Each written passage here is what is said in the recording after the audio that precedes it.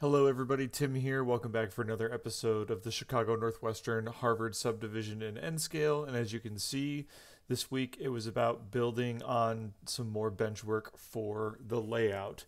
Um, so I had to extend the area like I talked about last time, which obviously started off, I had to make sure to find the studs to figure out then where to space uh, the dimensional pieces uh, to make sure that I didn't put a, cr- a cross brace where the stud needed to go. And where we're working on today, this is again showing you the track plan for the layout. Everything you see in green, the bench work's already done. We're focusing on this yellow area down here, specifically up to where the switch is. Um, that's the bench work I'm going to build. That's the track I'm going to lay. And this is going to be as far as I get for a while. And I mentioned this in last week's video because the next phase after this, I'm going to zoom out here so you can see, is a nice long stretch. It's like a 13, 14 foot long straight stretch of track. It's going to be really cool. But right now it's running just over open space in the basement, and I'm bringing a friend in to build, uh, to, to frame a wall, um, so that way it's got uh, stable supporting. But that's again, that's going to take a while. So I wanted to get this built so that way I could get that done and then focus on kind of backfilling in some items on my to do list and what I have built. Because again, as you can see me go through the clips here, I'll just say, you know, I'm, I'm getting to a pausing point, not just because of that, but just because. Uh, you know, it's the school year started. I mentioned back in the earlier series, I'm a teacher. Um, so the school year started, so I'm losing a little bit of time. Uh, and I'm losing a little bit of resources. What my I'm running out of the supplies I initially purchased. In fact, I wasn't able to get the new track. Uh, I wasn't able to run the feeders because uh, I need more. Uh, I need to get more terminal strips, and so I just kind of realized, you know, what what all I was actually running out of. Um, you can see I sped up the footage here, but you can see I got it mounted uh, up onto the wall, um, and then after that, I went back through and added the second screw at each of the at each of the studs. You know, you can see here I'm checking to make sure it's level. Something happened after. I don't know if it just settled or if I wasn't looking at the air bubble on the level correctly. Um, and you might notice it in the clip. Uh, it's gonna kind of lean and sag a little bit. Um, I'll I do go back and fix that after I get all this done. I just forgot to take footage of me fixing it. It wasn't really that hard. You can see here I'm mounting it on the side. I'm joining it to the existing benchwork here on the side of it. Um, and again, I'll, I'll get to it later. Uh, obviously, you can see what I'm, I'm, changing out. I'm getting ready to change out the bits here because I'm going to countersink uh, to make sure that the the screw heads are flush before I put the foam down. Because again, I learned the hard way on earlier construction uh, that that was problematic if you don't. Even if you're laying foam above, it'll still it can still mess up. Uh, and at N scale a minor height difference can make a huge difference. And so I didn't just didn't want to chance it. So I'm getting some initial. Uh, I drilled some of the initial holes and then I went through and finished getting all that done. Um, and again, you you can see it better here that there's a slight lean piece to reinforce that leg yet, but even still, that that should have been more insufficient for the weight that was already on it. So again, like I said, after after I finished installing uh, the half inch plywood, and then after the foam uh, and after the glue dried, I went back through, unscrewed where I had attached it to the existing bench work, uh, and then I went ahead and, and redid it. So, uh, but as you can see, after I countersinked, I went through, uh, and again, I can't state more than you know that I already have if you have if you have two if you have a drill and a driver it really makes it really cuts down on the time because you can just go right through and get it all done and not have to be constantly swapping bits in and out. Um, and I wanted to make sure that I had a nice a nice good attachment. So you'll see once I once I do put the foam sheets on, um, you'll see that uh, I, I found a combination of weight and also using clamps. Uh, to to really make sure that the edges are flush. You can you can see there briefly. I, I sanded the underside of the foam because again I'm trying to roughen up the surface to give uh, more area for the glue to grip to.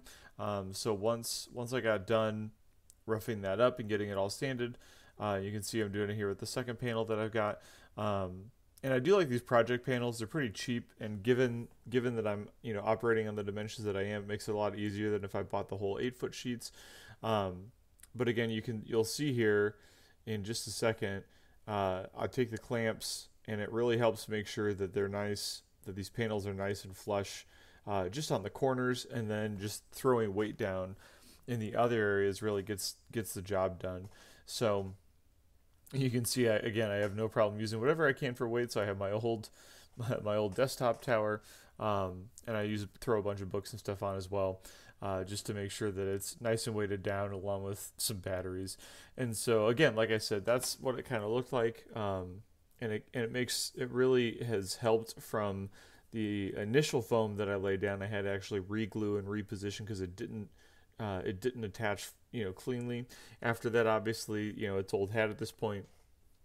I laid the roadbed down um, to finish the curve coming out of that bend where the wall kind of juts. Uh, and then after that, I went through and laid the track. And again, this was as far as I got in my work this week, in part because without the terminal strips, I really didn't want to move forward with the wiring.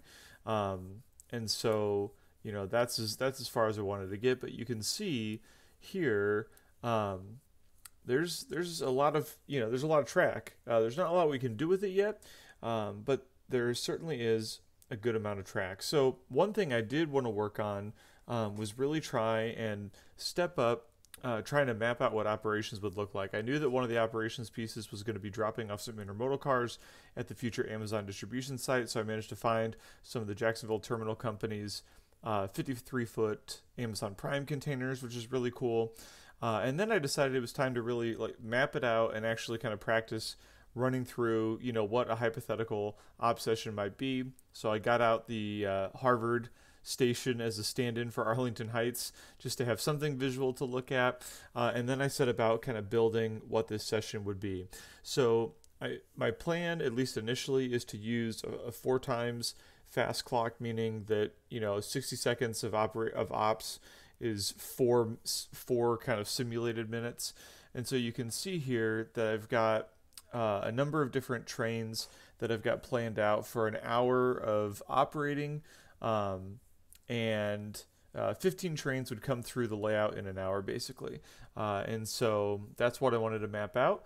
Uh, and I figured I would show you exactly what that might look like. So this would be August 19th, 2013.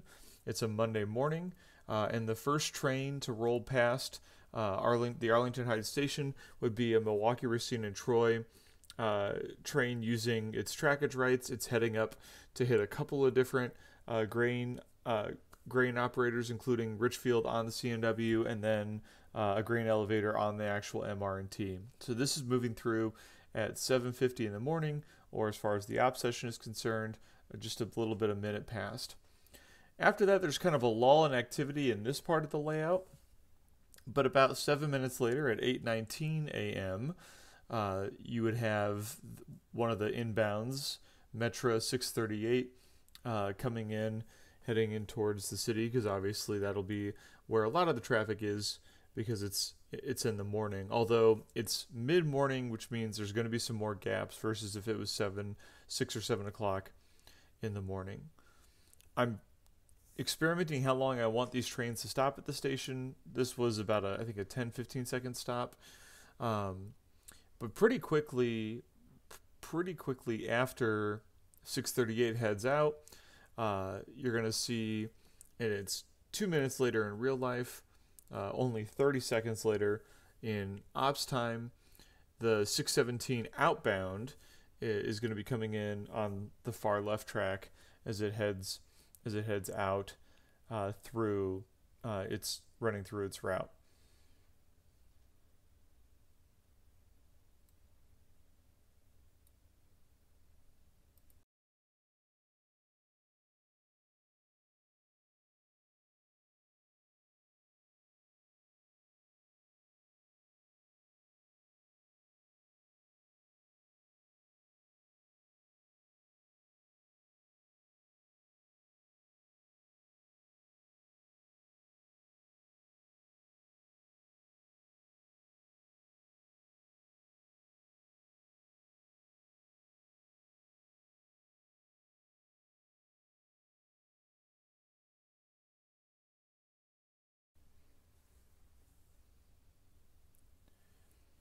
Four minutes later, at 8:25 or 10 minutes into the operating session, you would have CNW 401, one of the outbound trains, uh, one of the outbound 400 trains heading to Madison.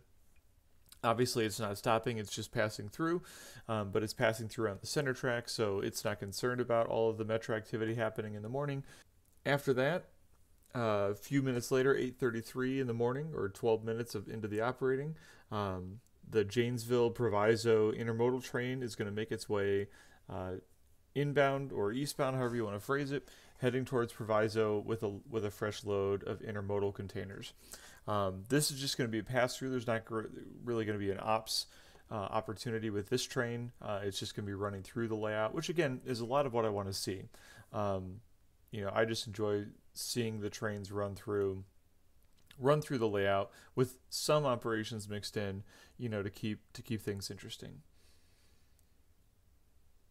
But after that freight takes an advantage of, you know, kind of a gap in time, uh, at 849, uh, about 15 minutes after that passes through, or 16 minutes in the op session, inbound Metra 640 would make its way in to Arlington Heights on its way to hit all the other stops going into Chicago.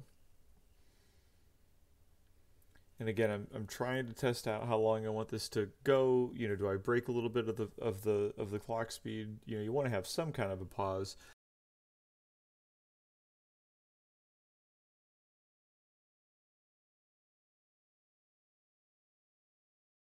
Again, the gaps between the metros are going to increase just because as you get deeper into the morning, there's less of the rush.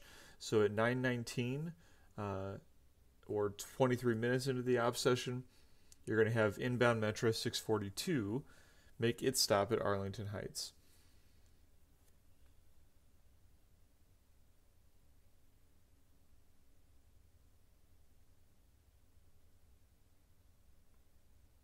And as it departs and heads towards Chicago, there will be another inbound train, although it's going to be on the center track. And not even a minute after departure, um, or 15 seconds in the op time, uh, you'll see CNW 402. This is one of the inbound 400s heading in from Madison. And again, it's not operating at its fullest speed at this point.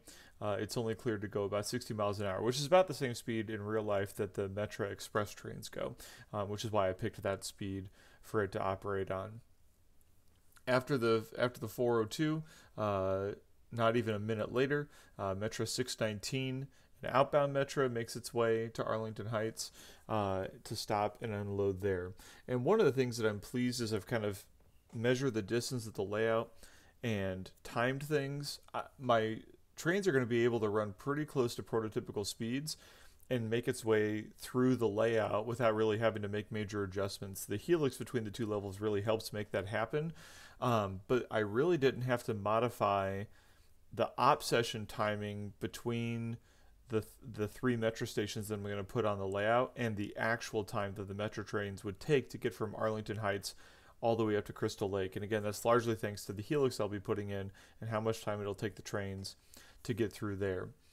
After that Metra, the local is going to take advantage of a gap in time, and it's going to make its way up to go serve uh, some of the some of the industries on the layout. So this is the one of the proviso Janesville jobs because it does go up in interchange at Janesville. Um, I did manage to get uh, a Kato SD45, which I'm very excited about um, because I figured that'll be another good uh, locomotive to lead the local operations. I, I plan on weathering the heck out of it because it, by you know 2013, obviously, uh, it's it's been around for a minute, um, but it's slowly making its way up. Remember, there is a second uh, lumber facility on the layout that needs to get served, so that's why this is going. That's why these center beam cars are on the outbound uh, because Heller Lumber gets served by the inbound local. Those are going up uh, farther up the Harvard sub uh, to go drop off fresh supplies there. Uh, and again, after that, it pauses and it interchanges at Harvard, and then it goes up and makes its way makes its way over um, to Janesville. You can see a little bit of a jump on the train there. Uh, again, I haven't had a chance to lay the feeders down there, so it's just it's a real spotty electrical pickup at that point um, where those trains are going after the locals moved through this area, and again, I want to remind you that you know once I get more built, I mean, there's full operations going on farther up and down the layout. I'm just picking one specific spot to give you an idea of what the traffic might be. But at this point, at 1019, almost almost an hour after the local passes through the area, uh, inbound Metra 644 makes its stop at Arlington Heights, and at this point, Metra is basically running um, an inbound and an outbound every hour. You know, the morning rush has stopped, so now you just have an hour regularly tra- regular train going through, uh, and and they pair them pretty close together, or at least at this point uh, on the on the northwest line. Uh, they intersect pretty closely. So at 10:19, the inbound stops at Arlington Heights, and then literally two minutes later or 30 seconds later on layout time, uh, the outbound 621 makes its way up the line, you know, and stops at Harvard. The last freight operation in this mid-morning op session uh, that would be entering the fray uh, would be the reverse intermodal job. So this is um, this will be the Proviso Janesville uh, run, and this one, however, will feature uh, some degree of operation. It's not just going to be an intermodal freight that's passing through the scene, and that's because this will be the one that serves the Amazon. Uh, the Amazon distribution center that I mentioned, uh, and so as you see, um, as you as you see the intermodal pass through, uh, the first three well cars are the have the prime containers um, because once it moves around to where that siding is, it will cut, run those three down, pick up any empties, attach, you know, attach them to the train, and then make its way up to Janesville. But after that intermodal makes its way through, there's just two more quick metros. Metra inbound 646 at 1119 uh, goes through, makes its stop for the for the mid morning run, and then a couple of minutes later, in real time or 30 seconds later, in operations time, uh, the Metra outbound 623 makes its stop at Arlington Heights. And again, the timing's different for these, you know, locomotives uh, based on where they hit different parts of the layout. But I figured it'd be a fun thing to show you just from the perspective of one station, uh, how much traffic could happen in the course of uh, an hour of operating, or in the real world, you know, essentially four uh, four hours of of traffic. And so even though there's light freight traffic because of the metros and the 400s, there's quite a bit going on.